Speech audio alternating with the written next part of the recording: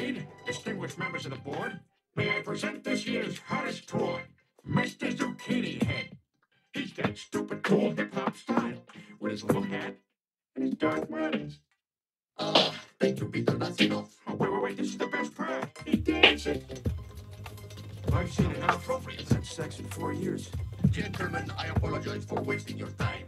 Peter is an adequate assembly line worker, but you'll be happy to know our company does not pay him to think. no chords.